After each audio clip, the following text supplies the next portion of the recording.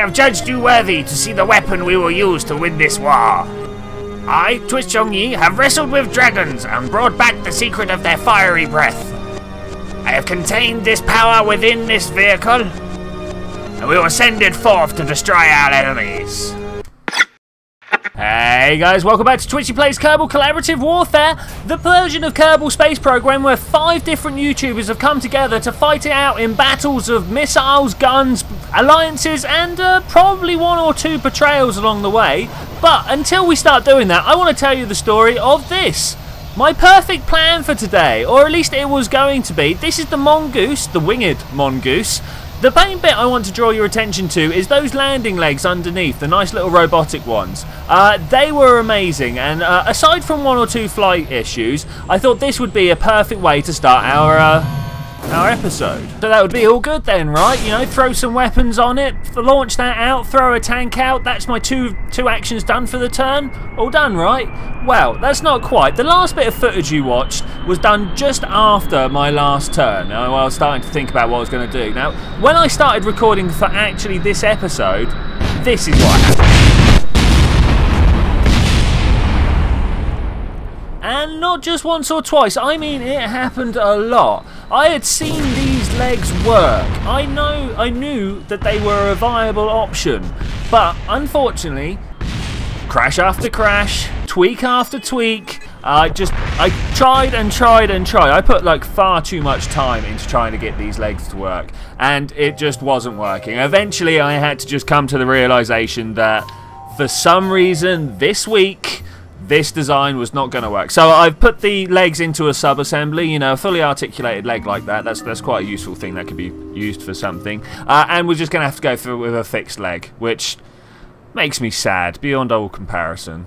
But for what purpose are we actually making this plane? Well, Twitch Zhongyi has used his marvellous telepathic abilities to look through the eyes of the weather satellite, and he tells us that our friend across the water has had some suspicious movements going on at his base. So it is up to Tamti there to go and find out what is actually going on. Now, we could have used the weather satellite to actually go down and have a look because, you know, that's one of the, the rules that have been granted to us. But I thought it'd be much better if we sent a spy out to have a look. You know, a little bit element of danger. Nothing overly aggressive quite yet. You know, I don't want to be going up and destroying everything before, like, we have a chance to, to, to, get going. And I was really expecting to have been a bit more reactionary. I was expecting someone else to have done something here. But anyway, we're going to set ourselves to the attacking team and turn off this camera wobble for us to jump forwards to the very edge of my territory. Okay, so this water underneath us here is the dividing line between mine and Tape's territory, as far as I'm aware anyway, until bases start getting taken. And that base over there is the closest base that Tape has to me. So th this is kind of probably going to be the stretch of water where things go back and forth.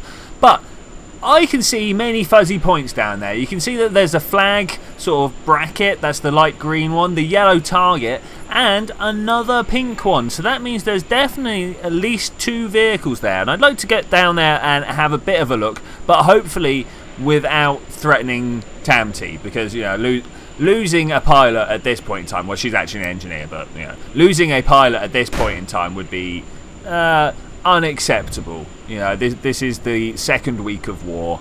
We we don't really want to be doing that. Okay, so I'm now within uh, detection range. I, I, should imagine Tapers put everything up at 5 kilometers like everyone else. And immediately I've gathered two bits of intelligence, maybe even three. I know there's a defensive turret down there. By the name of my target, I know he has a VTOL down there. And I can also see a route of approach that doesn't actually get me in much danger. So with that, we're going to pull away because we're not we're not here for a, a, an aggressive engagement yet. And we're just going to come in uh, for a nice gentle landing. Of course, as with any time that I try to land an aircraft, gentle is a relative term. We did lose the air brakes off the bottom, but that's uh, that's quite alright. What we're going to do now is just kind of like park this up over by those hangers there on the left. And just leave it on guard mode, I think. You know, this is what this is what we're here for. This is going to be maybe probably our main staging post. It could probably end up being our Pearl Harbor, but, you know. Do we do we have it? Is it on? Kerbals of Cthulhu, listen to me. Do not believe your leader's lies. Look at how he treats those most loyal to him. This footage was taken from the military parade he had earlier today. Those who attended knew too much. There was only one vehicle. They were all put to death. What's that noise? They're here already! Citizens, leave your country! It is the only. Oh, no! Probably won't notice, and then it will kill him two days later, and then the whole world will be ours for the taking. But, you know, that's not going to be for a couple of turns yet. So, um, what I'm going to show you in the background here, the latest addition to the Clathu ground forces is, of course, the Platypus. Relatively light on the arms and armament on this one. Uh, you'll see at front we've got the goalkeeper because I thought it was about time we got some big weapon out. A couple of surface-to-air missiles on the back that I forget the name of. But the most important feature of this, we're actually going to have to go to another save to see uh, like the full potential for. Welcome to the testing save and the totally random choice of launch site Black Crags. We're here to launch the Grub from the back of the Platypus, the Grub of course being our short to medium range missile here. I found this warhead in the weapons subdivision of the part repository, and as I am at that beautiful honeymoon stage of using this mod where I'm just kind of throwing crazy ideas out in random combinations, I've come up with this. A vital part of any weapons development process is, uh, of course, pushing its ranges, finding out what the boundaries of use are. So I just wanted to find out what the full range extension of this flight would possibly be. Already we have covered the distance from the Black Crags up to the very channel that separates me and Tape, so I'm relatively happy about the the range of this. Uh, and as we are just starting to run out of fuel, we are mere meters away from the floor and with an explosion and a look back towards our target, we, I can tell you we have flown 37 kilometres. It's a very useful number, that. So, back in the collaborative save, and we're going to turn the weapon manager on. Now, I was having real difficulty trying to decide where to actually put this vehicle, because obviously we want to keep it close to the base so it can be protected by all the other vehicles around, but at the same time, we don't want them all so close together that a single bomb will just take us out in one pop.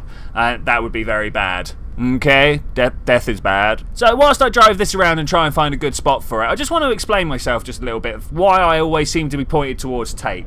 Uh, so having a chat round, he is pretty much the only one that has expressed a very strong opinion that he wants the KFC. So I want to make sure that I'm protected in that particular direction. Though I can guarantee next time I'm going to go be having a look at Space Game Junkie's place because he is just to the north of me. But anyway, I will see you then when we're going to do that. Bye!